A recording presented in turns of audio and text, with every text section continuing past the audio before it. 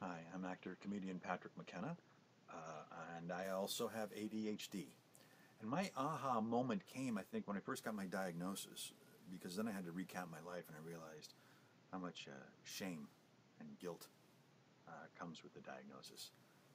I look back at a lot of the relationships, um, girlfriends, teachers, friends, uh, policemen, car salesman. I've had a lot of difficulty with uh, relationships, basically because of my impulsivity. That uh, uh, my mind has a bit of an idea that I shouldn't say things, but my mouth has no clue of what that is about. So it just keeps saying things, even though uh, teachers and others ask that I don't.